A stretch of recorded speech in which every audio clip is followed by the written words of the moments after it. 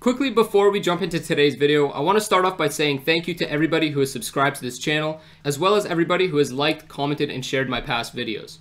To a lot of people, 900 subscribers isn't that crazy, but to me I find it really cool that there's 900 people out there who like the research I'm doing and are willing to keep up with the content that I'm producing. So thank you to everybody who subscribed and continue leaving your feedback in the comment section below, because I'm always looking for ways to improve this channel to make it better for you guys, the viewers. So with that, let's jump into what we're going to be talking about today, which is a really clever protocol that was introduced in November of 2020 called KeeperDAO. Now, a lot of you have probably heard about KeeperDAO because it gained a lot of notoriety in the weeks and months after its launch, and Rook Token was actually one of the best performing altcoins of the early phases of this crypto bull cycle. We saw Rook Token consolidate after its launch for a few weeks around the 70 to $100 range, after which it went on a crazy run to around $800 a token. But since then, Rook Token has been underperforming the rest of the crypto market, and I've seen a lot of people pronounce the project as dead. So what I want to do in today's video is talk about what KeeperDAO is and the problem that it solves. We'll jump into the economics underlying the Rook token, which can help us explain the recent underperformance, and then I'm going to jump into my short-term and long-term investment thesis regarding Rook token. So with that, let's jump right in.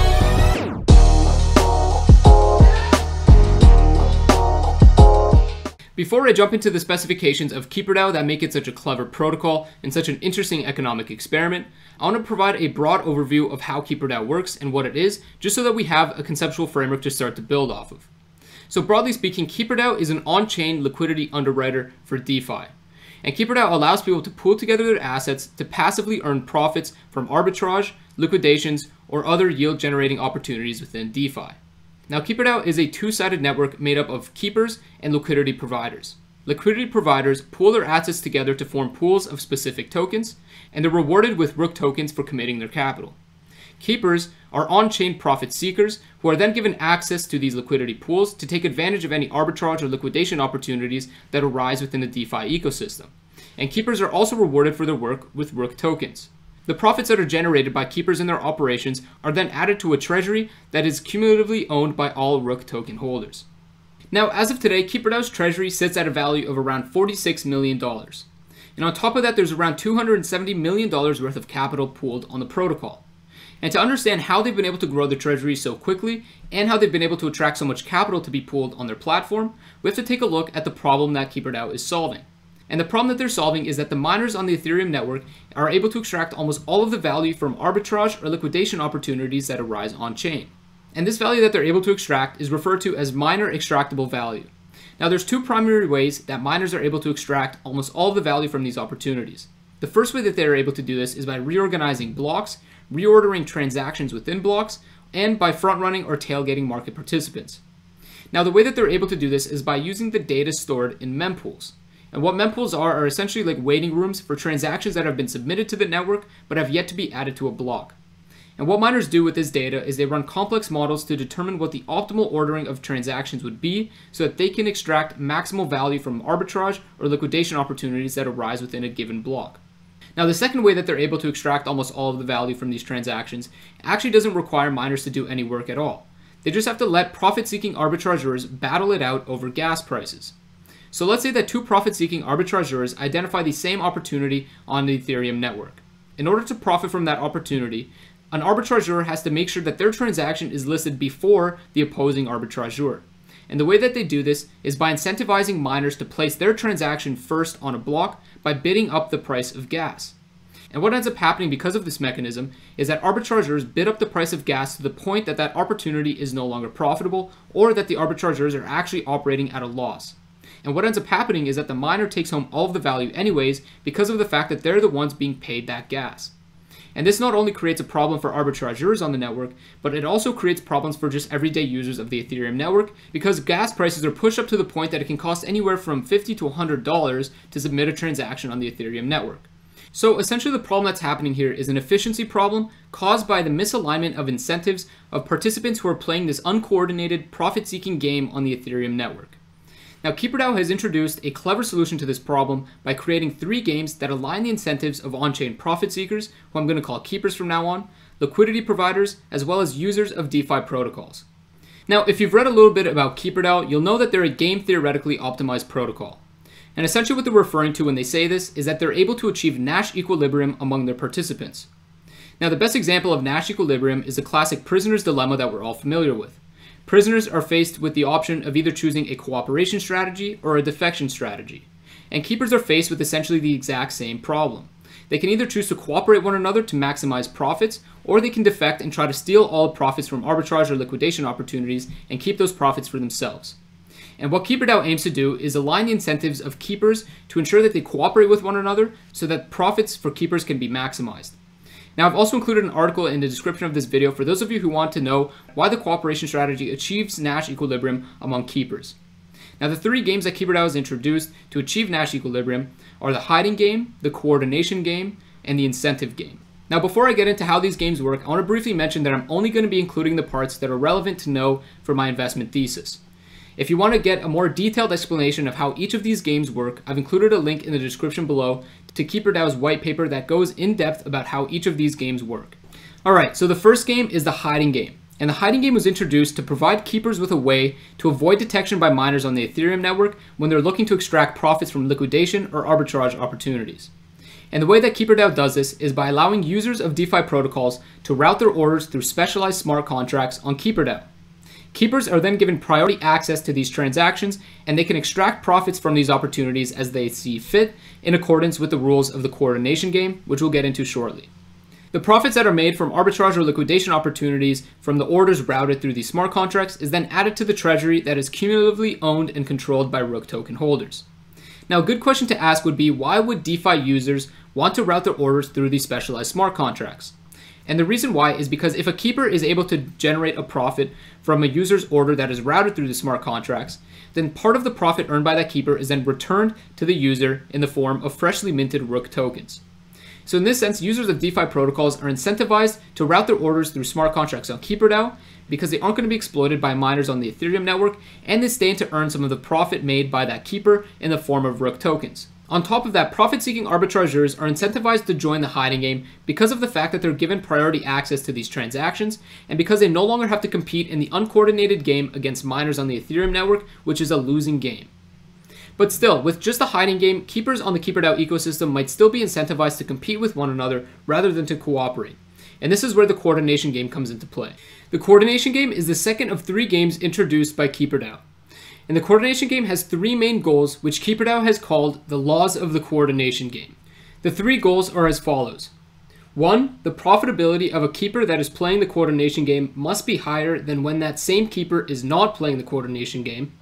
The sum profitability of all keepers playing the coordination game is higher than the sum profitability of the same keepers if they were not playing the coordination game. And three, the relative profitability between keepers playing the coordination game is the same as the relative profitability between the same keepers if they were not playing the coordination game. So essentially what these three laws are aiming to achieve is Nash equilibrium, where all of the participants in the game are incentivized to cooperate with one another because this is what leads to maximal profits for all keepers. And this is what the three goals are essentially aiming at doing. And these goals are achieved through scheduling rules as well as profit sharing rules. Now, the scheduling rules refer to the process of deciding which keepers can act on a profitable opportunity first. Now, I'll get into why this is important in a moment, but essentially the way that scheduling works is that each keeper must first create an identity. And they create an identity by bonding a certain number of Rook tokens to their identity using a contract on KeeperDAO. New schedules are randomly created every 100 blocks. But the number of Rook tokens that a specific keeper has bonded to their identity increases the probability that they'll be placed at the top of that schedule. So that means that if you have the most Rook tokens bonded to your identity, you're not guaranteed to be ranked first in every single schedule, but you have a much higher probability to be ranked first than those who have very few Rook tokens bonded to their identity. Now, once these schedules are created, keepers act as they normally would. They look for profitable opportunities as they present themselves.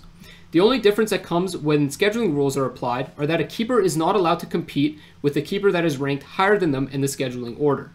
If a keeper does act out of order, then other keepers can employ a tit for tat strategy against that misbehaving keeper by acting out of turn when that keeper is above them in the scheduling order.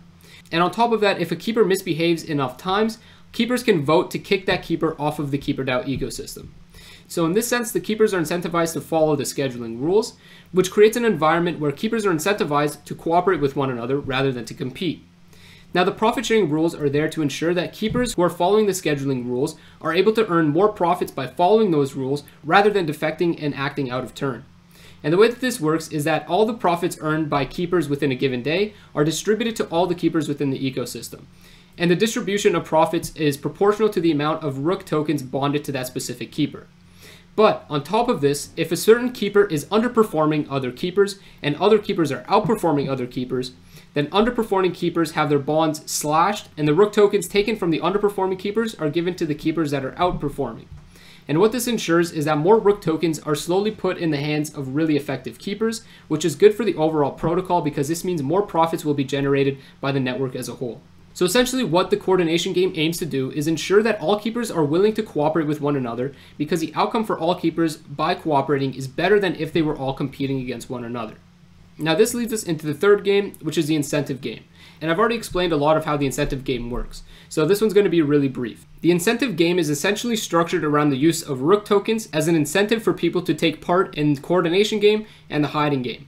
Like I've already explained, users of DeFi protocols are incentivized to join the hiding game and route their orders using the smart contracts because they're rewarded with Rook tokens. In addition to that, keepers are incentivized to join the hiding game and play in the coordination game because they're rewarded for it with Rook tokens. But on top of that, liquidity providers are also incentivized to join the KeeperDAO ecosystem because they're rewarded for committing their capital with Rook tokens. And because KeeperDAO is a self-iterating protocol, the amount of rewards earned by liquidity providers or keepers or users of DeFi protocols can be changing and shifting all the time. So this is why you always want to keep an eye on the incentive structure of KeeperDAO if you plan on being a long-term holder or investor in KeeperDAO's governance token Rook. But essentially what the incentive game tries to do is to align the incentives of all the players that are playing the KeeperDAO games to make sure that they're cooperating and achieving the most optimal outcome. Alright, so that is how the three games created by KeeperDAO work, and I hope I've done a good job of explaining at how those three games work together to align the incentives of participants to ensure that they cooperate with one another to extract the maximal amount of value out of any arbitrage or liquidation opportunities that arise in the DeFi ecosystem. Now it's time to take a look at the economics of Rook token so that we can explain its recent underperformance and where it might be going in the future. Now we're going to start by taking a look at the supply side of Rook token. The initial supply of Rook tokens was set at 800,000 tokens. And in the first quarter, it was set to emit, or in other words, mint, 200,000 more tokens. And each quarter after that is set to emit 70% of the amount of tokens that were emitted in the previous quarter. Now that 70% is called the decay rate and the decay rate can be changed by Rook token holders through a vote. And this is one of the things that makes investing in the Rook token particularly challenging, which is that it's a self-iterating protocol which can change the underlying investment thesis behind the Rook token pretty easily. And this makes it more challenging to build a short-term investment thesis on Rook token rather than a long-term investment thesis. Because the idea is that participants would have the long-term investment thesis in mind when they make governance decisions regarding the protocol. So to conclude on the supply side of Rook tokens, as the emission schedule stands today, the maximum amount of Rook tokens that are going to exist is going to max out just before 1.5 million tokens. So the inflation rate that Rook token holders are going to experience isn't that significant and it doesn't represent a very high hurdle rate for growth. So now what we have to do is jump into the demand function and take a look at what's going to be driving demand for Rook tokens and what's going to be driving the price appreciation for these tokens. And the reason why this demand function is of vital importance to the investment thesis regarding Rook tokens is because of the fact that Rook tokens are used as incentives to draw people into the games being played on the KeeperDAO ecosystem. But if people are given these incentives and have absolutely no reason to hold on to those Rook tokens, then as soon as those people are given those Rook tokens, they're just going to sell it on the market. So there has to be some economic utility to holding on to Rook tokens for the long term. And that's what we're going to take a look at now. So the way that I see it, the demand function for Rook tokens is two-sided. The first source of demand for Rook tokens is going to come from keepers because keepers are incentivized to bond more Rook tokens to their identity so that they can land higher in the scheduling iterations and therefore have a better chance at earning profits. But that doesn't generate economic utility for anybody outside of the keepers.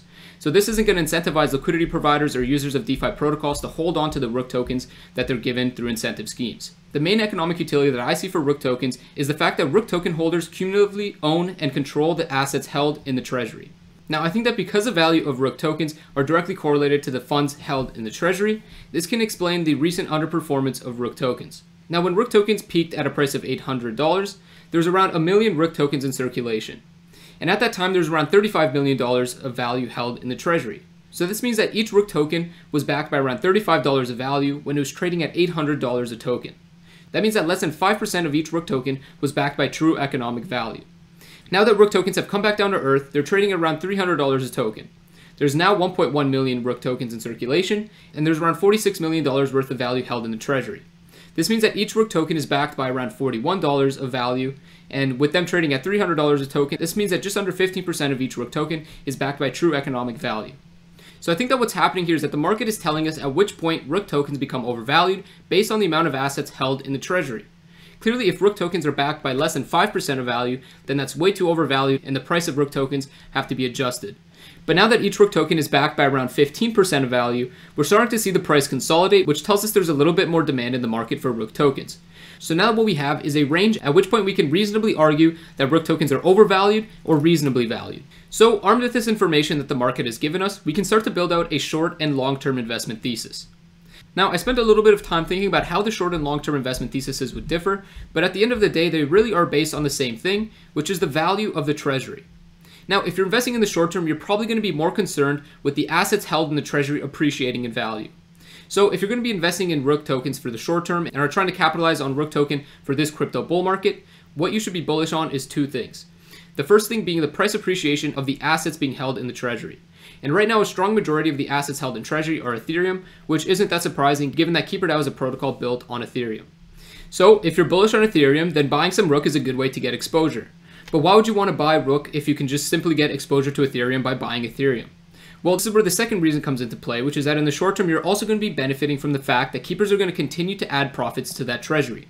So not only are you going to be benefiting from the price appreciation of the assets held in treasury, but you're also going to benefit from the continued profits that are added to the treasury. And on top of that, you can also make some extra capital gains from repricing. And what I mean by repricing is that let's say that the market decides that the price at which Rook should be trading is when 10% of the value of a Rook token is backed by assets held in the treasury rather than the 15% that it's at today. At that point, you're going to make capital gains just simply from the repricing of Rook tokens. So in the short term, why I'm bullish on Rook tokens is because I think that the assets held in Treasury are going to continue to appreciate in value. And on top of that, I really love the incentive systems that KeeperDAO has created to ensure that keepers continue to generate profits and return them to the Treasury. So not only do I think that the assets held in treasury are going to continue to rise in value, but I think that keepers are going to continue adding value to that treasury, which is why I think Rook tokens are going to perform better than the underlying assets held in the treasury. And on top of that, it's my belief that having 15% of the value of a Rook token backed by true economic value in the treasury is more than enough. And in fact, I think that a reasonable price to pay for Rook tokens is when 10% of their value is backed by assets held in treasury. And the reason why is because if the governance decided to distribute those funds held in treasury as a dividend, then you'd be paid a 10% yield on your Rook tokens and still continue to own the Rook tokens that would accumulate future benefits from profits added to the treasury by keepers. And I think that a 10% dividend is more than enough to justify the risk being taken by investing in Rook tokens. Now this leads us into my long-term investment thesis, which is very similar to the short-term investment thesis, except it's a little bit less concerned about the price appreciation of assets held in treasury, and it's more concerned about seeing keepers generate more profits for the treasury. And the way that this would happen is that more users of DeFi protocols would route their systems through KeeperDAO, and more keepers would join the KeeperDAO ecosystem. And the reason why I think that this is going to happen is because of the clear advantages that users of DeFi protocols have to routing their orders through KeeperDAO, and also the clear advantages that keepers have to joining KeeperDAO. So I think that the increase of users routing their orders through KeeperDAO is going to increase the amount of opportunities available to keepers, which is also going to subsequently increase the amount of profits generated for the treasury. Now to finally wrap up, my strategy for investing in Rook tokens is essentially this. Anytime the Rook tokens are backed by more than 15% of value held in the treasury, I'm going to start buying Rook tokens slowly. And if at any point Rook tokens reach a price at which point less than 7% of their value is backed by assets in the treasury, I'm going to slowly start to shed my position. And this is essentially the band that I'm going to operate in, and my hopes are that it's going to maximize the profits that I'm able to make from trading and investing in Rook. So that does it for this video. I hope you guys enjoyed, and I look forward to seeing you all in my next video.